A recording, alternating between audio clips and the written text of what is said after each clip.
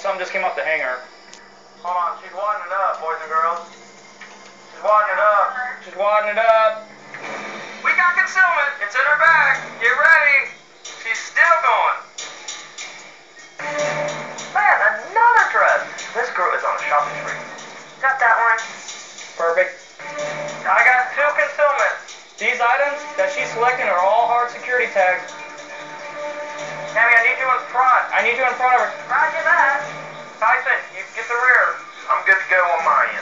In place. Get ready.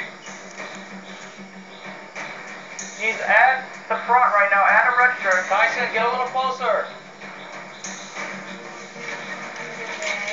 All right, we're in play, guys. Tagged items are still in her bag. Get ready. All right, let's stand by. Let her cross that door. She making her way?